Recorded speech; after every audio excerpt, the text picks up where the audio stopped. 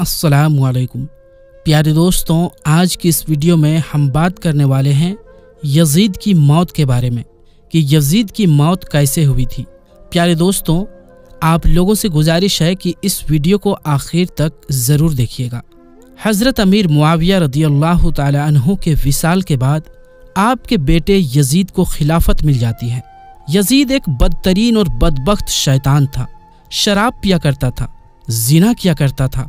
Yazid को जब खिलाफत मिली तो यजीद समझ गया कि मेरी इस खिलाफत को हज़रत इमाम हुसैन रदी अल्लाह तु कभी भी कबूल नहीं करेंगे। इसीलिए यजीद ने मदीना मुनव्वरा के गवर्नर वलीद बिन उतबा को खत लिखा और उसमें लिखा कि हुसैन इब्ने अली, अब्दुल्लाह इब्ने उमर और अब्दुल्लाह इब्ने जुबैर रदी अल्लाह तु मेरी बेयत को माने, अगर वो बात ना माने तो उन पर जुल्म सितम करना। इमाम हुसैन रदी अल्लाह तु ने यजीद की बेयत करने से इनकार कर दिया। क्योंकि यजीद आपके नज़दीक मुसलमानों की इमामत और खिलाफत के हरगिज लायक नहीं था।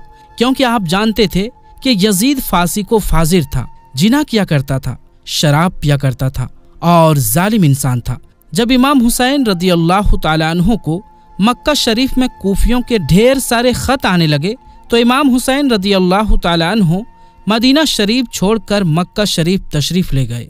उन ख़तों में लिखा हुआ था कि अय इमाम हुसैन, आप कोफा तशरीफ़ ले आइए। यहाँ पर यजीद का जुल्म सितम बढ़ता जा रहा है। हम आपसे ही बैत करेंगे। यजीद के बैत हमें हर गिज कबूल नहीं है।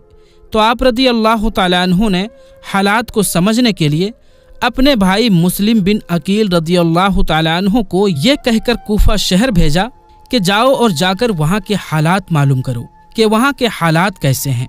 तो हज़रत मुस्लिम बिन अकील रदी अल्लाह कूफा पहुँचे। तो वहाँ के लोगों ने बड़े ही एहतराम के साथ आपका इस्तकबाल किया। हज़रत मुस्लिम बिन अकील के हाथों में अठारह हज़ार लोगों ने बेहद कर ली और हज़रत मुस्लिम बिन अकील ने अपने भाई हज़रत इमाम हुसैन के नाम एक खत रवाना कर दिया। और उसमें आपने लिखा कि यहाँ के हालात बिल्कुल सही है। और अट्ठारह हज़ार लोगों ने बेत भी कर ली है। लिहाजा आप कोफा जल्द से जल्द तशरीफ़ ले आए। जब यजीद को इस बात की खबर हुई तो यजीद ने उन लोगों को धमकियाँ दी। तो लोग अपनी बात से मुकर गए और फिर यजीद ने इमाम मुस्लिम बिन अकील को शहीद करवा दिया। कोफा के हालात इतने ज़्यादा बदल चुके थे कि वो लोग जो हज़रत मुस्लिम बिन अकील से मोहब्बत का दावा कर रहे थे, अब वही लोग आपकी जान के दुश्मन बन गए। वहीं दूसरी तरफ़ मक्का में मुस्लिम बिन अकील का भेजा हुआ खत हज़रत इमाम हुसैन तक पहुँच चुका था, जिस खत में लिखा हुआ था कि कोफा के हालात बहुत अच्छे हैं, आप जल्द से जल्द तशरीफ़ ले आए। लिहाजा हज़रत इमाम हुसैन ने फ़ौरन कोफा जाने की तैयारी शुरू कर दी। हज़रत इमाम हुसैन ने अपने तमाम अहल खाना के साथ कोफा के लिए रवाना हुए। यहाँ इमाम हुसैन कोफा के लिए चल पड़े। इमाम हुसैन इबन अली को हज़रत मुस्लिम बिन अकील की शहादत और कोफा की बेवफाई की खबर उस वक्त मिली थी, जब आप मक्का शरीफ से कोफा की तरफ़ रवाना हो चुके थे। यजीद ने जब नवासा रसूल को शहीद करवा दिया, और वो ये सोचता था कि इस जुल्म से अरब के सारे लोग मेरी बेयत करेंगे, मेरे सामने झुकेंगे। कोई भी मेरे खिलाफ हुसैन के बाद सर नहीं उठाएगा। लेकिन जब रसूलुल्लाह सल्लल्लाहु अलैहि वसल्लम की बेटियाँ कैद होकर कोफा और शाम के बाजारों से गुजरी तो उनके खुतबा सुनते सुनते लोगों के मुर्दा जमीर जागने लगे और यूँ यजीद के खिलाफ बगावत पैदा हो गई। हर कोई यही सोचने लगा कि इस्लाम अल्लाह का दीन है और मोहम्मद मुस्तफ़ा सल्लल्लाहु अलैहि वसल्लम अल्लाह के रसूल हैं। ये खानदान अल्लाह का महबूब तरीन खानदान है। जिसने इनके साथ जुल्म किया, उसे बादशाह कहना सबसे बड़ा गुनाह होगा। और यूँ मदीने वालों ने यजीद के बेयत से इनकार कर दिया। और फिर यजीद ने मदीने पर हमला किया।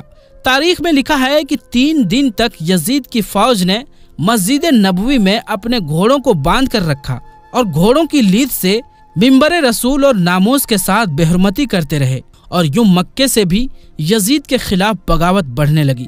फिर यजीद ने खाना काबा पर हमला करना शुरू कर दिया और खाना काबा में आग लगा दी। हर कोई यजीद के ऊपर लानत करने लगा। लेकिन यजीद किसी को भी अपने खिलाफ देखता तो उसका सर कलम करवा देता। वाकई करबला के कुछ ही दिनों के बाद यजीद की मौत का वक्त भी करीब आ गया था। दस मुहर्रमुल हराम इकसठ हिजरी को करबला के मैदान में हज़रत इमाम हुसैन रदी अल्लाह तु का खून बहाकर यजीद पलीद ने हुकूमत हासिल की थी। वो हुकूमत भी ज़्यादा दिनों तक ना रही और तीन साल सात महीने के बाद ही पाँच रबीउल अव्वल चौसठ हिजरी में उनतालीस साल की उम्र में यजीद की मौत हो गई। यजीद की मौत कैसे हुई? इसकी दो वजह बताई जाती है। एक वजह यह बताई जाती है कि यजीद को शराब की लत थी, यानी वो बहुत बड़ा शराबी था। ये बहुत शराब पीता था, जिसकी वजह से वो एक बीमारी में मुबतला हो गया और पेट के दर्द और आंतों की सिकुड़ने की तकलीफ़ से तड़पता रहता था। यानी जिस तरह मछली पानी के लिए तड़पती है, यजीद भी उसी तरह तड़पता रहता। मौत के कुछ दिन पहले यजीद की आंतें सड़ गई और उसके पेट में कीड़े पड़ गए और यजीद का पेट अंदर से खत्म हो रहा था। यानी यजीद की जो आंतें थी, वो पिघल रही थी। यजीद तकलीफ़ और शिद्दत से चिल्लाता था। यजीद जब भी पानी पीता था तो पानी का कतरा ज़रूरत के हलक से नीचे उतरता था तो उसे वो अंदर चुभने लगता था। इस तकलीफ़ से वो अपना सर पीटता रहता था। उसके महल के लोग यजीद को इस हालत में देखकर यही कहते थे कि ये आजाब हुसैन इबन अली को प्यासा रखने की वजह से है। अजीब कहरे इलाही की मार थी। यजीद का हाल ऐसा हो गया था कि वो पानी के बगैर भी तड़पता था और पानी पीकर भी चीखता था। यजीद को जब अपनी मौत का अंदेशा होने लगा तो उसने अपनी बहुते मुआविया बिन यजीद को मर्ज बिस्तर पर बुलाया और सल्तनत के बारे में कुछ कहना ही चाहा था कि वो बेसाख्ता बेटे के मुँह से चीख निकली और उसने अपने बाप की पेशकश को ठुकरा दिया। कि जिस ताजो तख्त पर आले रसूल के खून के धब्बे हैं, मैं उसे हरगिज कबूल नहीं कर सकता। खुदा इस मनहूस सल्तनत की विरासत से मुझे हमेशा महरूम रखे, जिसकी बुनियाद नवासा रसूल के खून पर रखी गई है। यजीद अपने बेटे के मुँह से ये अल्फाज सुनकर तड़प गया और शिद्दत और रंजो गम में डूबा रहा। प्यारे दोस्तों, आपको बता दें, करबला की जो जंग हुई थी, ये यजीद और इमाम हुसैन के दरमियान नहीं थी बल्कि यह हुसैनियत और यजीदियत के दरमियान की लड़ाई थी। क्योंकि अगर दो लोगों के बीच की होती तो यजीद जीत गया होता। ये सभी को पता है कि इमाम हुसैन शहीद हो गए थे और यजीद तख्त ताज पर काबिज हो गया था। मगर ये लड़ाई नजीरियत की थी, इसीलिए यजीदियत हार गई और हुसैनियत आज भी ज़िंदा है। साथ ही इस लड़ाई के साथ यजीदियत का जनाजा निकल गया। वो तख्त ताज जिसके लिए यजीद ने इतना कुछ किया था, उस तख्त पर उसके अपने बेटे नहीं थूका। यजीद को एक भयानक बीमारी हो गई, जिस कारण यजीद बीमारी का गिरफ्त हो गया। यजीद की बीमारी का हाल ये था कि कॉलेंज की बीमारी के कारण ये हाल था कि उसकी आंतें जलने लगी थी। वहाँ के हाकिम परेशान होकर कहने लगे, ये कैसी बदतरीन बीमारी है कि इसमें पेट अंदर से जल रहा है। इस बीमारी की वजह से यजीद को इतनी प्यास लगती थी कि वो पानी के लिए तरसता था।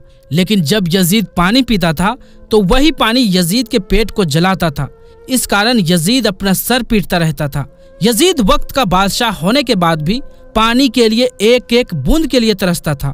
जब यजीद अपनी बीमारी की इंतहा को पहुँच गया तो अपने बेटे को बुलाकर कहा कि, बेटा, मेरा अब कुछ भरोसा नहीं। मुझे मौत कभी भी आ सकती है। इसीलिए अब तू मेरे तख्त को संभाल। यानी अब तू मेरे तख्त पर बैठ जा। लेकिन यजीद का बेटा मुआविया तख्त पर बैठने के लिए राज़ी नहीं हुआ और यजीद से कहने लगा कि जैसे जमाना आप पर लानत कर रहा है, वैसे ही मुझ पर भी लानत करे। नहीं, हरगिज नहीं। मैं इस तख्त पर नहीं बैठूँगा। ये तख्त नवास रसूल के खून से आलूदा है। इसीलिए मैं इस तख्त पर लानत करता हूँ। इसके बाद यजीद की बीमारी और भी बढ़ गई और अरब के हर किस्म के नशे यजीद के सामने पेश किए जाने लगे। ताकि यजीद को बीमारी का दर्द महसूस ना हो और वो हर वक्त नशे में रहे और वो प्यास के लिए ना तड़पे। इसी नशे की हालत में यजीद अपने सिपाहियों से कहने लगा, मेरा वो बंदर कहाँ है जो हमेशा मेरे साथ रहता था? तो फिर सिपाहियों ने कहा कि शायद वो जंगल की तरफ़ गया हो। यजीद अपने सिपाहियों के साथ घोड़े पर बैठकर जैसे ही बाहर गया तो घोड़े ने नवासा रसूल के कातिल को अपने पीठ से गिरा दिया और यजीद का पाँव घोड़े के रकाब में फंस गया और वो घोड़ा दौड़ता रहा और यजीद ज़मीन पर गिरते हुए उसका सिर एक पत्थर से जा टकराया। मगर वो घोड़ा ना रुका यहाँ तक कि यजीद का पूरा जिस्म खून से लथपथ हो गया। यजीद की फौज ने जब यजीद की लाश को देखा तो वो कहने लगे, हुसैन इब्न अली के खून की यही सजा है। यजीद इस तरह बहुत ही जिल्लत की मौत मरा। जबकि करबला में इमाम हुसैन का रोजा चमकता हुआ वहाँ पर आज भी मौजूद है और वहाँ पर लोगों का तांता लगा रहता है, मगर यजीद की कब्र कहाँ है? तो आपको बता दें, यजीद की कब्र मजूल दमिश्क में है। यह जगह दमिश्क में है, जहाँ लोग कूड़ा फेंकते हैं और इस कूड़े के नीचे कहीं यजीद की कब्र है, मगर निशान भी नहीं कि कहाँ है। लेकिन इतना पता है कि इस कूड़े के नीचे ही कहीं यजीद की सांपों से भरी हुई कब्र है यजीद जुल्म की इंतहा तक पहुँच चुका था और रहम और शफकत से उसका दिल बिल्कुल खाली था। फिर ऐसे लोग खुदा की रहमत के उम्मीदवार कैसे हो सकते हैं? यजीद को आज कोई याद नहीं करता। हमेशा उस पर लानत होती रहेंगी। अल्लाह ताला हमें शराब, नशा और तकबर से बचाए और हमेशा ईमान पर रखे और ईमान की हालत में ही मौत अता करे। आमीन। तो प्यारे दोस्तों, आज की ये वीडियो आपको कैसी लगी? कमेंट में हमें ज़रूर बताएँ और इस वीडियो को ज़्यादा से ज़्यादा लोगों तक ज़रूर शेयर करें ताकि उसे मालूम हो जाए कि यजीद की दर्दनाक मौत कैसे हुई थी। तो दोस्तों, आज की इस वीडियो में बस इतना ही। इन मिलेंगे अगली वीडियो में। तब तक के लिए अस्सलाम अल्लाह हाफिज़।